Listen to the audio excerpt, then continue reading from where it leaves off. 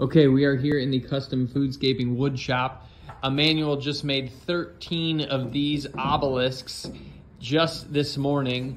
And what he's done is used this amazing jig that he's made to do this really quickly. Emanuel, give us a tour of the jig you made. Yeah, so uh, helps me uh, keep keep my staves uh, aligned here, the legs, and then uh, I can take these uh, made blocks, just kind of set them in place. Um, so I don't have to do any measuring or anything like that. I just did a drawing of what we're building on the plywood, put blocks uh, to match the drawing, and then um, yeah, that way we know everything's nice and consistent. So then once I get those up there, I can kind of lock in one side, and then I can pull this until it matches this edge, until it matches this edge over here, lock that in, and then so on.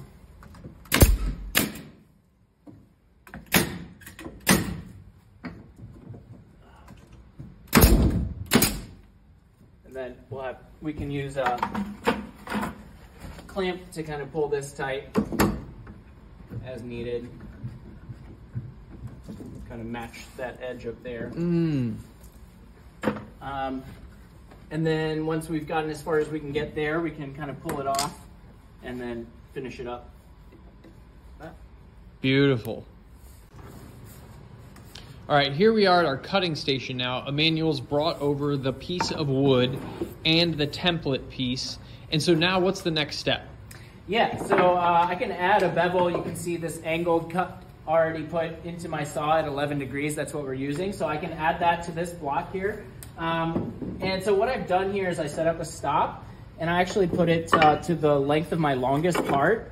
And then I have a series of spacers that I made to help me achieve my other parts. And that way I don't have to reset this stop and I can just keep all those spacers bundled with this whole packet. But anyway, that's beside the point. So what I'll first do is kind of put my first cut in here on one side to clean up the first edge.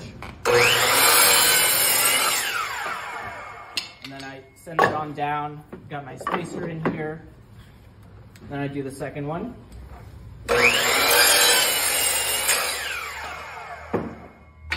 Now I have uh, a block that matches this, and then I can continue to cut these out on the table saw next. All right, let's check that out.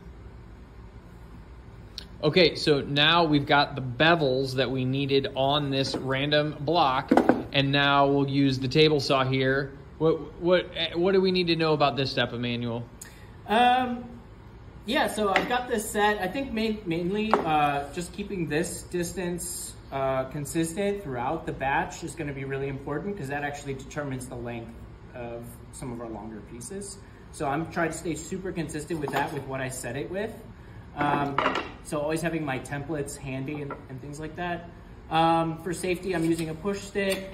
Um, yeah, I just tend to run this batch and I just, you know, stay out of the no zone. Great. Let's see how it works. Okay.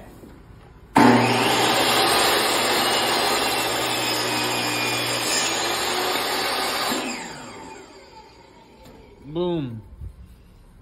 Okay.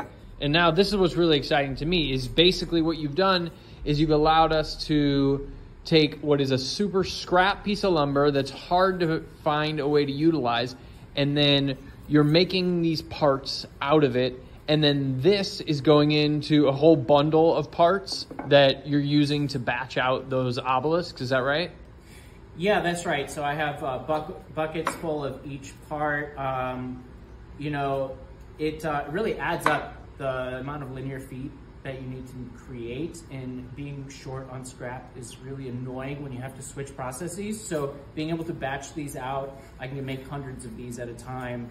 Um, it really, yeah, it really saves a lot of time in the long run. all right and then let's take kind of a final look at what your final product is Yeah. which we have over here on the other side of the jig today. All of these obelisks that these will be um, converted into gardens for climbing crops. Things like peas, pole beans can even be used as a tomato trellis, and or anything else that wants to climb. Anything else we're missing, Emanuel?